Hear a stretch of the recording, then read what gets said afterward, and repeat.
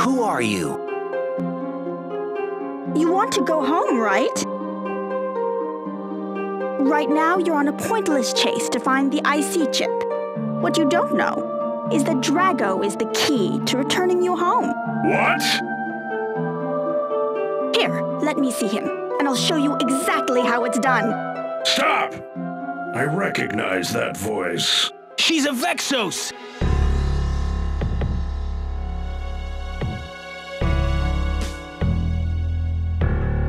I knew you weren't doing this to help us! You don't care about us! You just want to go home! No, you're wrong. I do want to go home, but I want to help too. Mylene, you're not getting away!